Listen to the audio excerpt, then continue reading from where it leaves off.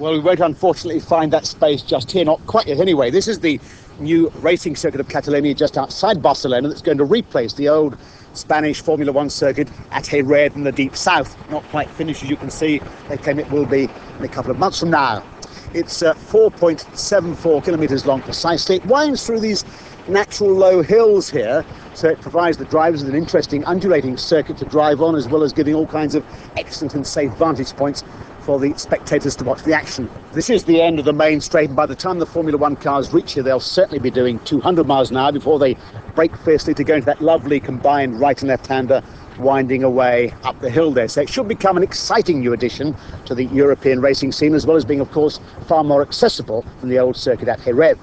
And when the Formula One circus descends on this place in earnest in September for the Spanish Grand Prix, it should draw after it a huge crowd of spectators from all over Europe, perhaps even from the UK. But before then, of course, the drivers will have faced some other very unfamiliar bends in a very familiar setting because during the winter, the old sweeping curves at Silverstone have been totally reshaped to make it safer, cars and drivers and more interesting for the spectators.